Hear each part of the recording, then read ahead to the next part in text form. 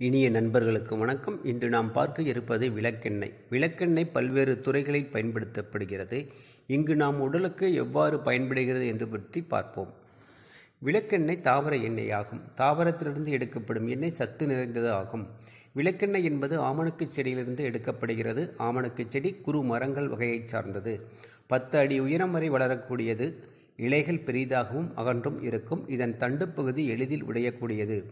முட்களுடன் கூடிய காய்ந்தால் வெடிக்கக்கூடிய காய்களை உடையது விதைகள் நீள்வட்டமானவை விதைக்கு முத்துக்கொட்டை என்ற பெயரும் உண்டு.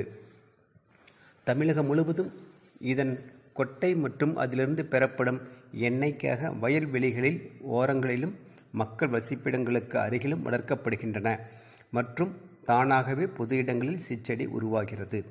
விளக்கு எரிப்பதற்காக பழங்காலத்தில் பயன்பட்டதால் இதற்கு விளக்கு எண்ணெய் என்றும் முத்துக்கொட்டை எண்ணெய் ஆமணக்கு எண்ணெய் என்றும் அழைக்கப்படுகிறது. ஆங்கிலத்தில் கேஸ்டர் ஆயில் என்றும் அழைக்கப்படுகிறது. இது மணமற்றது அடர்த்தியானது பிசுபிசுப்பு தன்மை உடையது. விளக்கெண்ணெய் மூன்று விதமாக தயாரிக்கப்படுகிறது. ஆமணக்கு விதையிலிருந்து பெறப்படும் எண்ணெய் ஆர்கானிக் விளக்கெண்ணெய் என்றும் இது பார்ப்பதற்கு மஞ்சள் நிறத்தில் காணப்படும். விதைகளிலிருந்து நேரடியாக எண்ணெய் எடுக்காமல் வறுத்து அதன் பிறகு எண்ணெய் எடுப்பது கருப்பாகவும் புகை வாசனையோடும் இருக்கும். ஹைட்ரஜன் சேர்த்து உருவாக்கப்படும் எண்ணெய் ஹைட்ரோ ஜெனரேட்டட் விளக்கெண்ணெய் என்றும் அழைக்கப்படுகிறது. உலகின் பெரும்பாலான ஆமணக்கு எண்ணெய் இந்தியாவில் உற்பத்தி செய்யப்படுகிறது. விளக்கெண்ணெயில் நூற்றி இருபது கலோரிகளும் பதினாலு கிராம் கொழுப்பும் விட்டமின் இ மற்றும் ரிசினோலிக் அமிலம் ஒலியிக் அமிலம் லினோலிக் அமிலம் ஸ்டீரிக் அமிலம் பால்மெட்டிக் அமிலம் போன்ற தொண்ணூறு சதவீதம் அமிலங்கள் நிறைந்தவையாகும். விளக்கெண்ணெய் இயற்கையான ஆன்டிவைரல் மற்றும் ஆன்டி மைக்ரோபியல் பண்புகள் டெர்மோடேசில் எனப்படும் தோல் பிரச்சனைகளை மற்றும் பூஞ்சை தொற்றுக்கு பயன்படுகிறது. விளக்கெண்ணெயில் உள்ள ரிசினோலிக் அமிலம் மோனோசாச்சுரேட்டட் கொழுப்பு அமிலம் நிறைந்துள்ளதால் ஈரப்பத மூட்டைகளாக செயல்படுகின்றன.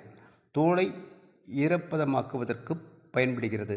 தோலின் வெளிப்புற அடுக்கு வழியாக நீர் இழப்பை தடுப்பதன் மூலம் ஈரப்பதத்தை தக்க வைத்துக் கொள்ளும். இதனால் நல்ல தோல் ஆரோக்கியத்தை மேம்படுத்துகிறது.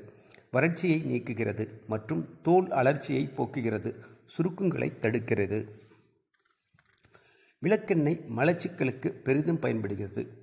குடல் பரிசோதனை அறுவை சிகிச்சைக்கு முன் குடல்களை சுத்தம் செய்யவும் பயன்படுகிறது. விளக்கெண்ணெய் மலச்சிக்கலை போக்கக்கூடிய நிவாரணியாகும். மலச்சிக்கல் இருக்கும்போது அடிக்கடி குடல் அசைவுகள் இருக்காது. மலம் வெளியேறுவது கடினம்.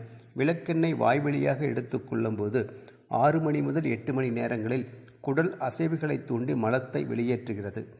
விளக்கெண்ணெயில் உள்ள ஒமேகா கொழுப்பு அமிலமான ரிசினோலிக் அமிலம் செரிமானத்தை தூண்டி தற்காலிக மலச்சிக்கலை நீக்குகிறது. பல நூறு ஆண்டுகளாக உலகின் பல்வேறு பகுதிகளில் விளக்கெண்ணெய் பிரசவத்திற்கு பயன்படுத்தப்படுகிறது. இது பிரசவத்தை எளிதாக்குகிறது. தொண்ணூற்றி ஒரு சதவீத பெண்களுக்கு சிக்கல் இல்லாமல் பிரசவம் நடைபெறுகிறது. விளக்கெண்ணெயில் உள்ள அமிலம் வீக்கம் மற்றும் வலியை குறைக்கிறது. மேற்பூச்சாக பயன்படுத்தும் போது கீழ்வாதத்தின் அறிகுறிகளையும் குறைக்கிறது.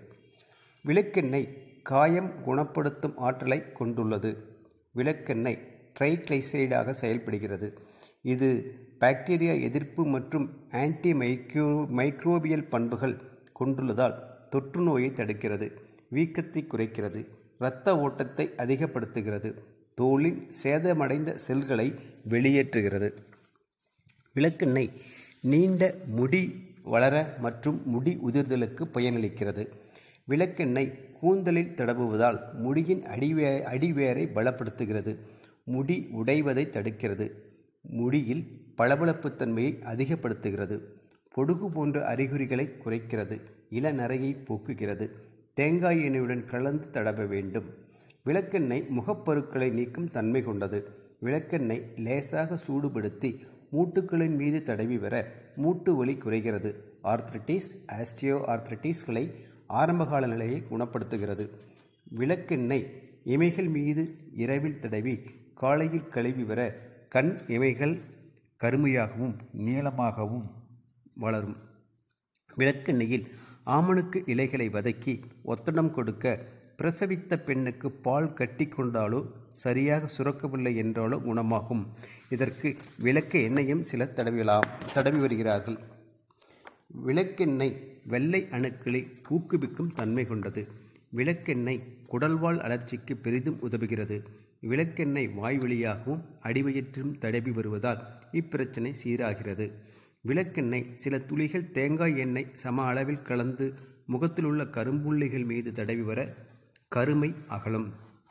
கண்களின் வீக்கம் அல்லது கண்களில் சோர்வு இருந்தால் விளக்கெண்ணெயை எடுத்து கண்களை சுற்றி தடவி விரல்களால் மசாஜ் செய்ய இரத்த ஓட்டத்தை அதிகப்படுத்தி குணமாக்கும். மன அழுத்தம் உடல்வலி தசை இறுக்கம் இவற்றிற்கு விளக்கெண்ணெயுடன் கேரியல் ஆயில் கலந்து மசாஜ் செய்ய உடல் ரிலாக்ஸ் ஆகும். சிராய்ப்புகள் வெட்டுக்கள் போன்ற புண்களின் மீது விளக்கெண்ணெய் சில துளிகளை தினமும் தடவி வர புண்கள் விரைவில் குணமாகும்.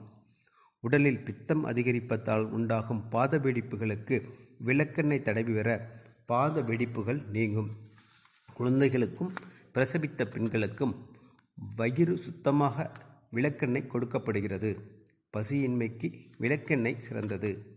பெண்களுக்கு மார்பு காம்புகளில் உண்டாகும் புண் வெடிப்பு போன்றவற்றிற்கு விளக்கெண்ணெய் மஞ்சள் சேர்த்து தடவி வர குணமாகும். விளக்கெண்ணெய் உட்கொள்வதால் மலச்சிக்கல் வயிறு தொடர்பான கோளாறுகள் நீங்கும் வாயு தொல்லை அகலும் வயிற்றுப்புண் குணமாகும் வயிற்றில் உள்ள கசடுகள் வயிற்றுப்பூச்சிகள் வெளியேறி குணமாகும். விளக்கெண்ணெய் தேய்த்து குளிப்பதால் உடற்சூடு குறையும். சில நேரங்களில் அடி வயிற்றில் வலி ஏற்படும் பொழுது தொப்புளில் விளக்கெண்ணெய் தடவி அந்த வலியை குணப்படுத்துகிறோம். விளக்கெண்ணெயின் தீமைகள். சில மருந்துகளை எடுத்துக்கொள்பவர்கள் விளக்கெண்ணெய் தவிர்க்க வேண்டும். இதய நோயிற்கு மருந்து எடுத்துக்கொள்பவர்கள் எலும்பு நோய்க்கு மருந்து எடுப்பவர்கள் இரத்த நோய்க்கு மருந்து எடுப்பவர்கள் இன்ஃபெக்ஷனுக்கு மருந்து எடுப்பவர்கள் விளக்கெண்ணெயை தவிர்க்க வேண்டும். பிரசவத்தை தூண்டும் குணமுடைய விளக்கெண்ணெய் சிலருக்கு எதிர்வினை ஆற்றும். எனவே மருத்துவரின் பரிந்துரையின்றி விளக்கெண்ணெய் எடுக்கக்கூடாது. மலைச்சிக்கலை போக்க எடுத்துக்கொள்ளும்போது விளக்கெண்ணெயின் அளவு அதிகமாகிவிட்டால் வயிற்றுப்போக்கு ஏற்படலாம். வயிற்றுப்போக்கு நீரிழைப்பு மற்றும் எலக்ட்ரோலைட் ஏற்றத்தாழ்வுகளை ஏற்படுத்திவிடும். தோலில் தடவும் போது சிலருக்கு ஒவ்வாமை ஏற்படலாம். எனவே தோலின் சிறிய பகுதியில் சிறிய அளவில் பயன்படுத்தி பார்த்துவிட்டு தொடர வேண்டும். நாள்பட்ட மலச்சிக்கலுக்கு விளக்கெண்ணெய் பயன்படுத்தக்கூடாது. மொத்தத்தில் விளக்கெண்ணெய் பாதுகாப்பானதாக இருந்தாலும் சிலருக்கு பாதகமான எதிர் விளைவுகளையும் தேவையற்ற பக்க விளைவுகளையும் ஏற்படுத்துகிறது. எனவே முன்னெச்சரிக்கையுடன் பயன்படுத்தி பலன்களை பெற வேண்டும். தொடர்ந்து பல்வேறு பயனுள்ள பதிவுகளை பதிவிட்டு வரும் உங்கள் ஈரோடு வெல்னஸ் சேனலை சப்ஸ்கிரைப் செய்து நண்பர்களுக்கு ஷேர் செய்யுங்கள். உங்கள் கருத்துக்களை பதிவிடுங்கள் லைக் கொடுங்கள். தண்ணீரை சேமிப்போம் உணவை வீணாக்காது முகக்கவசம் அணைவோம் நேர்மறையாக சிந்திப்போம். இங்கு கொடுக்கப்பட்டுள்ள தகவல்கள் அனைத்தும் சேகரிக்கப்பட்டவையே. என்றும் உங்கள் ஈரோடு வெல்னஸ் நன்றி வணக்கம்.